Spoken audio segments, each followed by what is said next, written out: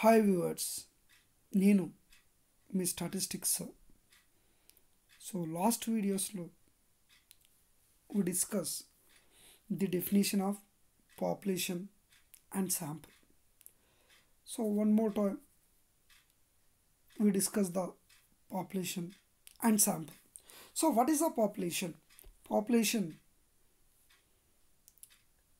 a collection of individual group of observations or things under statistical investigation is called population.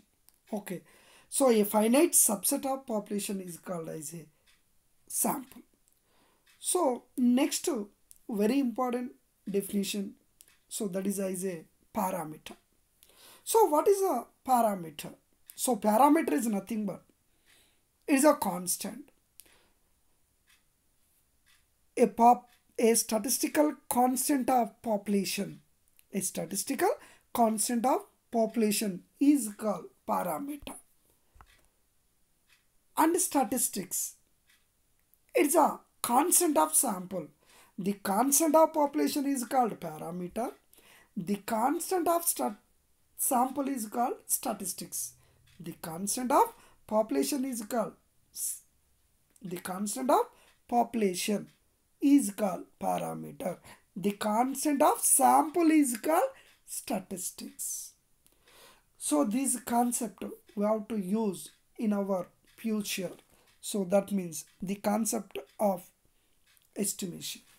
So everyone knows that estimation. We have to estimating. So what is that? We have to we have to the technique of estimate the population parameter along with the degree of confidence. And many other related problems are provided very important branch of statistics. Is known as the statistical inference. So in our statistical inference we have to discuss the theory of estimation so what is the theory of estimation? Estimation of population parameter. Estimation of population parameter like mean variance proportionals correlation coefficients. So these are we have to estimate by using population parameter. So in our population parameter the estimations uh, that means the theory of estimation was developed by professor R.A. Fisher's in the year 1930 so in our theory of estimation we classified into two types. One is a point estimation another one is the interval estimation. So first of all we discuss the point estimation. What is the point estimation? A sample of statistics that means numerical values. A point of statistics numerical value we have to take is used and estimate of the population parameter.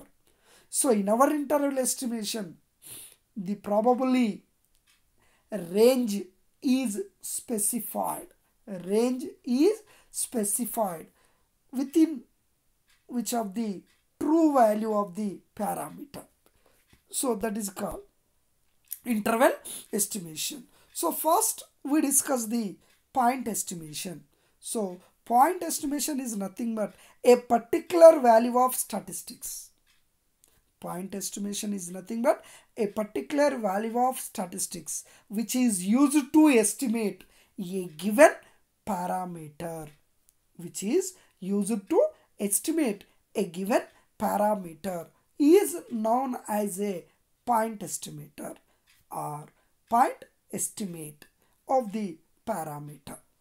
So uh, in our point estimation we have some good estimators. So the good estimators are unbiased. The one first one is unbiased. Second one is consistency. And third one is the efficiency. And fourth one is the sufficiency estimators. So in our sufficient estimator unbiased estimator consistent estimator and efficient estimator. Any estimator we have to estimate the best the good estimator. So the good estimator so for example we have to find for example in our binomial distribution. So the binomial distribution parameter n comma p.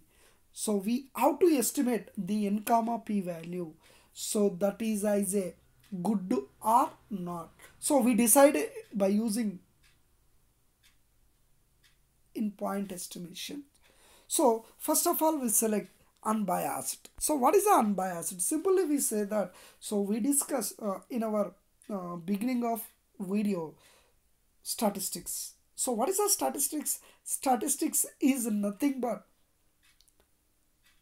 population so sample constant sample constant are called statistics so we have to use that statistics so in that statistics we can we can multiply expectation value. So that means the expectation of statistics. The expectation of statistics is equals to some parameter. So we have to we get the some parameter.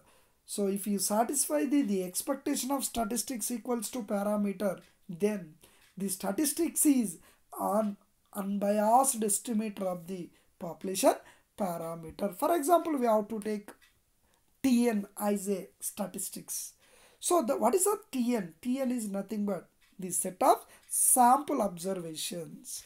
The set of sample observations is said to be an unbiased estimator of the corresponding population parameter theta. So simply write the expectation of Tn equals to theta. Then theta is called an unbiased estimator of the theta n t n is called an unbiased estimator of the theta.